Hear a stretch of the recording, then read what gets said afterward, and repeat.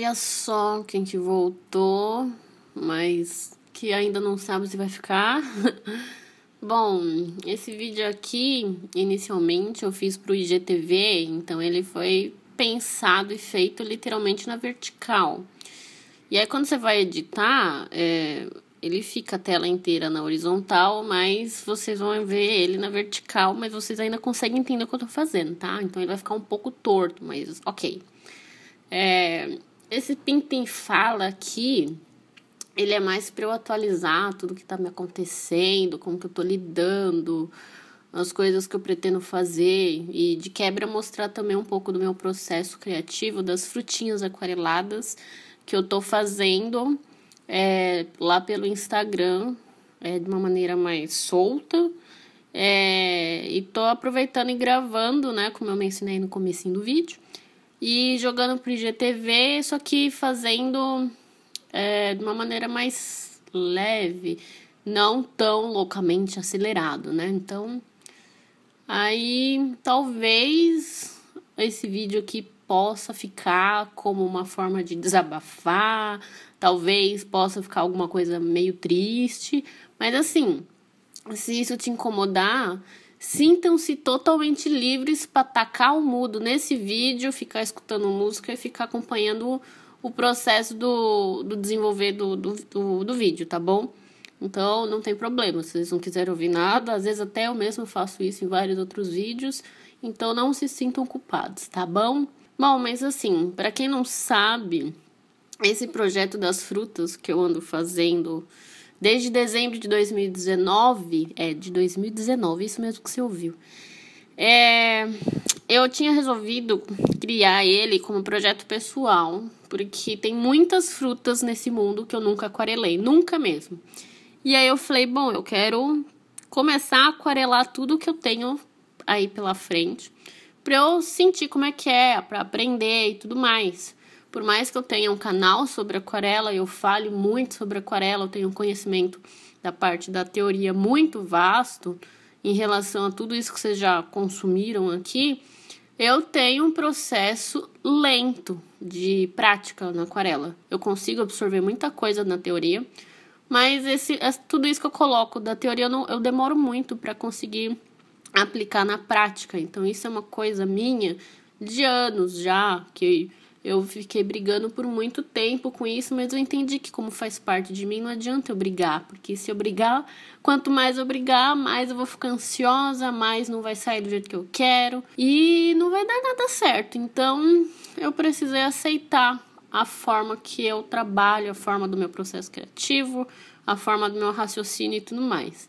Então, durante um tempo da minha vida, isso se tornou uma luta mas geralmente lutas são muito exaustivas, né?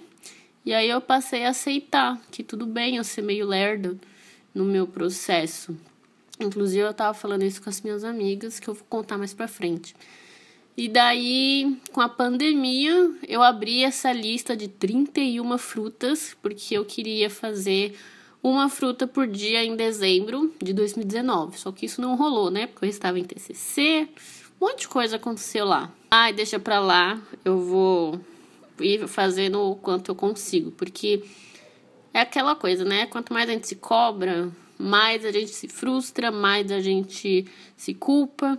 Eu falei, eu preciso muito lidar melhor com essas coisas, então não vou me cobrar e me culpar porque eu não fiz uma fruta por dia. Então vamos, que nem a minha tatuagem fala, let it flow, vamos deixar fluir e vamos fazer essas coisinhas aos poucos, porque sem condições, eu não sou um robô e não existe emocional que aguente isso, né? Aí a pandemia chegou e estragou a cabeça de todo mundo. e aí eu pensei, tá, vamos pegar aquela lista ali das frutas, né? E voltar a fazer, porque minha cabeça ia agradecer muito. E aí eu também lembrei que não era só eu que estava zoada com a cabeça na pandemia, tem um monte de gente que tá, né? Aí eu resolvi abrir essa lista para Deus e o mundo fazer com qualquer técnica. E aí vocês poderiam postar no Instagram com a hashtag desafio AnaBlue. E aí, até o que? Já faz quase quatro meses que a gente tá preso em casa, né? Pois é. E aí um monte de gente já fez e repostava lá, postava né, no Instagram, aí eu via, porque eu acompanho a hashtag, que é Desafio na Blue, como eu mencionei, ou algumas pessoas me marcavam, então eu repostava lá pelos stories e salvava também num destaque que eu criei só para isso, que é, acho que é um destaque vermelho cereja. E aí eu coloquei uma cereja, ou tá escrito desafios, eu nem lembro mais. E aí agora eu tô pensando em fazer um compilado de todas essas frutinhas que vocês me marcaram lá na hashtag. E talvez fazer um vídeo aqui pelo canal, analisando todas e repostando. Não sei o que, vocês acham. Se vocês curtirem a ideia, me fala aí nos comentários aí embaixo e aproveita, corre para fazer esse desafio para eu poder selecionar a sua fruta, as suas frutas, se for o caso também, para aparecer aí no meu vídeo que eu tô pensando em fazer, tá bom? É, eu vou deixar o link da lista aí embaixo. Eu vou deixar o link na hashtag também, que eu acho que dá pra fazer isso. E o link dos destaques, para quem quiser ver também, porque eu sei que dá pra fazer isso também. Tá bom? Nossa, eu só sei falar tá bom. Tá bom. É, é legal falar tá bom. tá. Ah, e uma coisa bem importante também. Eu vou deixar o link de todos os vídeos que eu fiz até agora, lá do IGTV do processo de pintura das, das frutinhas recentes e restantes que eu andei fazendo, tá bom? Tá bom? Então vou deixar aqui embaixo de novo, tá bom? Então tá. Meu Deus, falar sobre tudo que aconteceu é um rolê, espero que não extrapole no vídeo. O vídeo acho que tem uns 20 minutos. E quem ouvir tudo isso, olha, parabéns. Uh, antes que eu esqueça, me siga lá no Instagram, porque eu ando postando muito mais por lá do que aqui pelo YouTube. É Ana Blue Artwork. Um, eu também tô direto pelo Twitter falando vários nada, reclamando, chorando, falando de crush e falando de aquarela de vez em quando. Mas eu prometo que eu sou legal. E aí, que mais que tem? É tanta rede social que eu fico perdida. Ah, sim, tem a lojinha. A lojinha ainda está funcionando perfeitamente. Eu ainda tenho uns produtos parados aqui no estoque. É... E aí, tipo, tem produtos de papelaria criativa, né? Bloquinhos, journals para vocês fazerem as anotações. Eu amo os blocos, eu mesma uso. Quero fazer mais. Ah, e tem também os sketchbooks de aquarela, que eu amo. Eu preciso começar o meu, mas eu quero terminar logo essas frutas que eu não aguento mais. É, então eu vou deixar o link da lojinha aqui embaixo para quem não conhece, tá bom? E é uma novidade muito legal. Não sei se todo mundo chegou a ver isso pelo Instagram. Não sei se o Instagram me ajuda a espalhar essa mensagem por aí, porque o Instagram, né? É, mas quem comprar os produtos, né, a ID acima de 100 reais, você tem frete grátis. Eu mando para tudo BR. E aí é só vocês olharem lá no Instagram para vocês verem os valores dos produtos, tá bom? É, sobre os sketchbooks de aquarela, eu mostrei todos os sketchbooks que eu tenho, que todos foram eu que fiz. Então, boa parte dos sketchbooks de aquarela que eu mostrei num vídeo passado, eu vou deixar linkado aí em cima e embaixo, é, são os sketchbooks que tem na lojinha, tá? Enfim, vamos lá. Ai, meu Deus. Pra quem me acompanha no grupo do Facebook, que também tem o link aí embaixo, eu tinha mencionado que eu ia dar um tempo de rede social, porque é muita coisa para processar. E antes da, de julho, eu estava em finalização de TCC, eu estava aguentando um, minha vida que estava em trancos e barrancos. E o TCC era da pós-graduação de design gráfico, que para quem não sabe o que é design gráfico, coisa do tipo, eu fiz um vídeo só disso, eu vou deixar aí também embaixo ou em cima. É, e aí eu tinha que entregar esse TCC em abril, só que por conta da pandemia, eles jogaram a data para o final de junho. Aí a minha cachorrinha já também não estava bem. Eu acho que eu cheguei a mencionar no vlog passado disso. E aí ela fez cirurgia começo do ano, aí depois ficou bem, só que aí depois piorou, apareceu câncer, e aí depois ela já estava muito mal, é, com o tempo foi ficando pior. E aí a gente acabou tendo que fazer eutanásia. E aí ela faleceu no começo de junho, então muitas coisas para aguentar e ainda ter cabeça para finalizar TCC, tipo, meu Deus. Tá. Aí depois que eu entreguei o meu TCC, eu entrei numa crise horrorosa, com uma, um mix de frustração com estresse, com burnout. Para quem não sabe, burnout é tipo uma estafa mental. Ai, que você tá exausta, como se você imagina um computador, como se você fosse um computador. Você tá há tanto tempo, tantas horas ligada, trabalhando sem parar, que simplesmente o computador para, ele dá o 404 error, fica com a tela azul e para na sua cara. Seria tipo isso. O corpo não aguenta, você tá extrapolando no seu limite, você fica imprestável, não consegue fazer nada, não consegue ser produtiva, fica muito deprimida e tudo mais. Então, e burnout, né, essas coisas de estafa, tem muito a ver com estresse, que é literalmente o meu ponto negativo. Eu não sei lidar com estresse. Quando eu tinha depressão, era causada por estresse. Então, é muito complicado, né? E aí, a gente tá no meio de uma pandemia, né? A gente não tá com a cabeça bem. Então, ninguém é de ferro. Eu já não tava mais de ferro. Eu acho que eu já tava num alumínio derretido. tinha esquentado muito meu processador, sabe? Então, aí tava horrível. Então eu acabei bagunçando tudo de novo, os meus horários. É... E aí, para piorar, eu comecei a receber uns ataques gratuitos de uns fakes pelo Instagram, que eu sei muito bem quem é, eu deduzo da onde veio até.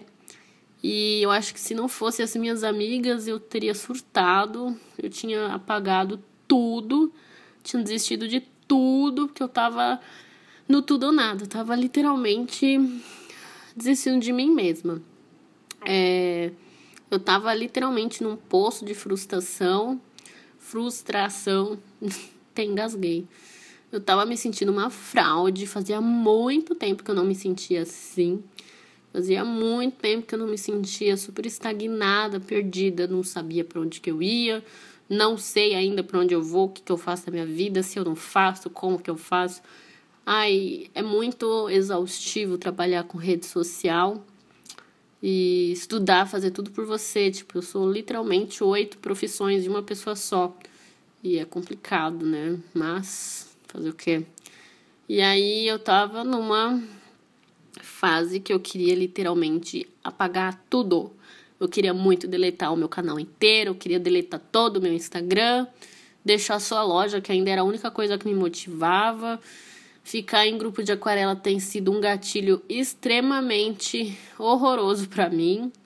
Ficar às vezes pesquisando coisa de aquarela tá sendo também um outro gatilho para mim. É muito maluco como é que isso se tornou algo que eu fico ansiosa e tem uma palavra aí, mas eu esqueci o que é. Eu odeio esquecer essas palavras. Mas enfim, acho que deu pra vocês entenderem, né? Durante muito tempo, aquarela e tudo mais sempre foi algo que eu gosto muito de fazer, de estudar, de repassar meus conhecimentos e tudo mais. mas de uns tempos pra cá tem se tornado motivo das minhas crises de ansiedade. Não que eu tô tendo várias, mas eu sempre fico mal, às vezes, por causa disso. Aí quando eu sinto saudade de voltar pro YouTube, só de pensar em fazer roteiro, depois de ter que postar no YouTube, esperar os feedbacks ou qualquer coisa assim, só de postar e simplesmente sair correndo, porque muita boa, boa parte de alguns vídeos foram assim. Eu fico até mais apreensiva e eu fico, meu Deus do céu, eu só queria que fosse uma coisa leve. Mas é isso que tem estado, tem sido pensar em aquarela. É terrível. Ficou terrível, né? Não queria que fosse assim. Eu preciso ressignificar tudo de novo, o que, que é aquarela para mim, tudo, tudo que eu fui desenvolvendo, tudo que eu fui fazendo crescer, que eu nunca imaginei que meu canal um dia chegaria a 10 mil inscritos. É muito maluco, é muito assustador. Eu nunca imaginei, nunca pensei, nunca, nunca Só queria botar para fora tudo aquilo que eu sei, tudo aquilo que eu pesquisei, tudo aquilo que eu gostava, sei lá. Mas é isso, acontece. Aí a gente tem que aprender a encarar e tudo mais. Só que geralmente esse backstage ninguém mostra na internet, ninguém comenta, porque, né, por que, que a gente vai mostrar isso. Mas eu acho necessário porque é realidade, é, são coisas que ninguém ensina a você passar, ninguém. Ninguém. é, são temas que fazem parte da nossa vida, da jornada criativa do artista, da jornada do ser humano, né? Tipo, se você for na terapia e conversar sobre isso, óbvio que você vai ter respostas e questionamentos legais de se ter e de entender melhor, porque isso também envolve autoconhecimento e tal. Mas, assim, superficialmente, a gente vai ter essas questões em alguma fase da nossa vida, faz parte. E aí a gente escolhe de qual forma a gente quer lidar. E aí eu não sei, eu ainda estou vivenciando isso. E aí, nesse processo aí, né? É, acho que, como eu tinha mencionado antes, se não fossem as minhas amigas perfeitas, maravilhosas que apareceram esse ano, final do ano passado com esse ano também, eu acho que eu tinha surtado legal. E elas são as melhores pessoinhas que, tipo, fazem meus dias melhores. Eu não sei o que, que eu faria sem elas, porque olha, tem sido difícil. É, essas amigas, elas desenham também, para variar, né? É, elas, eu conheci elas moderando é, o grupo Artenas no Facebook. Eu fui convidada pela Joaninha, que é o jeito que eu chamo a Joana. É, ela é administradora lá do grupo. E aí eu e mais outras meninas perfeitas, maravilhosas, também moderam lá. E aí virou uma certa diversão, porque é muito legal moderar grupo. E eu sempre fui muito certinha, então adoro fazer essas coisas, né? E aí, é, bom, para quem não sabe, né, nem expliquei direito. Artenas é um grupo só para mulheres que a gente tem no Facebook. E é só para mulheres artistas. Então, se você for homem, não rola, desculpa é um grupo feminista e tudo mais. Se você for trans, mulher trans também pode entrar. É, e tudo mais, tá? Enfim, se você jogar Artenas lá no Facebook, vocês encontram. E aí, é, eu vou deixar o link do Instagram delas aí embaixo. Se vocês quiserem acompanhar o trabalho delas, que são perfeitos, cada uma tem seu estilo, cada uma tem sua poética, conceito. Ai, não sei. É, elogiar as próprias amigas é uma coisa que eu adoro fazer. Então, eu vou ficar um ano só falando, elogiando. Mas enfim. Aí essas meninas perfeitas, a Ju Juliana Lócio, que eu adoro brincar de chamar ela assim, com X, a Márcia e a Joaninha, é, elas me motivaram pra caramba para tentar focar é, nos estudos mais técnicos de aquarela que era um negócio que eu dei uma abandonado por causa da pós-graduação e por causa da correria que eu estava tendo em gravar o curso de aquarela e tudo mais. Eu simplesmente desaprendi como é que era fazer isso. A depressão, um tempo atrás também, tipo, deu uma boa desmotivada, né? Para voltar a estudar isso, que é uma droga, mas querendo ou não, a gente tem que fazer. E tem que ser mais gentil quando a gente for começar a estudar. Não é simples mas um dia de cada vez, né? A gente acaba encontrando alguma motivação por trás disso. E aí, é, como eu queria um, tirar umas férias do YouTube, eu lembrei que geralmente gravar vídeos me motiva, né? Então, eu resolvi que eu ia gravar essas últimas frutinhas é, em vídeo de time-lapse, speed painting, né? De pintura acelerada, né? Pro IGTV. Então, foi aqueles vídeos que eu mencionei no começo do vídeo, o link tá embaixo, vocês podem ver o restante. E aí eu tô tentando manter isso. Não é simples, tem dia que eu tô odiando, tem dia que eu odiei completamente a fruta que eu fiz, tem dia que deu tudo errado, só quero sumir e morrer. Tem dia que, olha, ficou incrível, mas tem dia que ficou, ah, ok, também. E essa romã foi uma das que eu gostei muito. E o mais legal é que foi pela primeira vez que eu aquarelei essa romã. Então, deu certo por algum milagre, o que é legal. Mas também tiveram muitas outras frutas que eu aquarelei na primeira vez da minha vida e deu tudo errado. E eu só queria assumir. Mas, tipo, é ok, sabe? Às vezes tem frutas que a gente tem mais facilidade tem outras que não, e tudo bem. A gente tem que aprender a lidar com isso, sabe?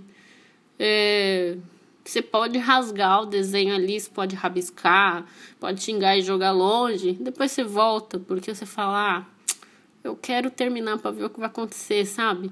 E essa coisa de artista, de ilustrador, de designer, querer ficar sempre é, pintando para tentar deixar o mais realista possível, na realidade, é uma luta dele com ele mesmo, porque a gente tá sempre atrás do nosso perfeito, que não existe, mas a gente quer sempre ver o maior, o quanto que a gente alcança. Então, o processo criativo é muito disso, sabe? É a, é a luta do próprio artista com ele mesmo. É literalmente para ver o que ele consegue fazer. Então, o negócio pode estar perfeito, mas eu ainda vou achar um erro ali que eu quero que fique perfeito. E vai ser tipo esse ciclo vicioso sempre, sabe? E aí entra muita culpa, a cobrança, a frustração, tudo aí dentro, sabe? Então, é um negocinho que a gente precisa aprender a lidar. E esse negócio leva tempo, né? E a internet tá aí sempre exigindo pressa, sempre sendo, vai logo, mas não é assim. e a gente tem que explicar pra nossa cabeça que não é assim e que vai ficar tudo bem, sabe? Então, é, é um tema complicado, a gente não vê em nenhum vídeo, pelo menos eu nunca vi. Se você viu alguém falando sobre isso, deixa embaixo, porque eu mesma tenho dificuldade para lidar com frustração e às vezes eu nem sei. É igual bloqueio criativo, cada hora é um bloqueio tão diferente do outro que você não consegue resolver com a mesma fórmula adiante, sabe?